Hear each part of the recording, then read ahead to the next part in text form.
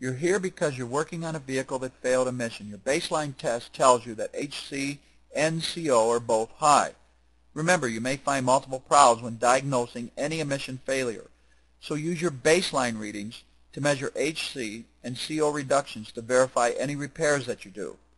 In this example, we see that the air-fuel mixture ratio isn't 14.7 to 1. It's indicating a rich mixture. Anytime both HC and C are high, it's the result of a rich air-fuel mixture. There's several causes for a rich mixture.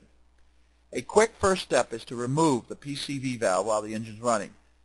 You're going to check for oil diluted with the fuel.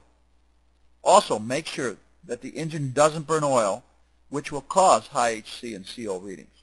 Then connect your scan tool and select scan data.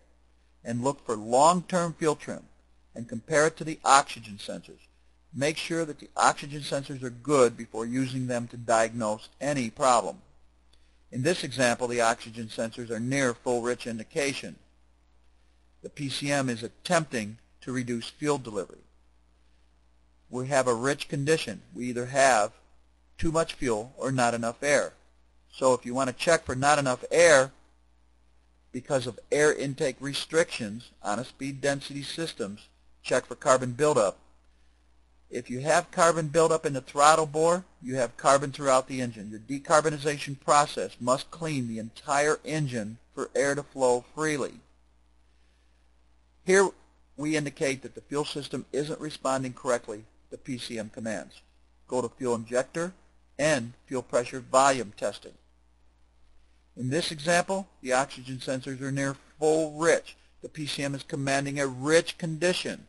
This indicates that an input, a load sensor, is telling the PCM that extra fuel is required. This isn't normal at warm idle. So go to Fuel System Scan Data Testing. A bad catalytic converter can cause an emission failure. Go to Catalytic Converter Testing. You will now be returned to the test selection menu. Make a selection based on your test results.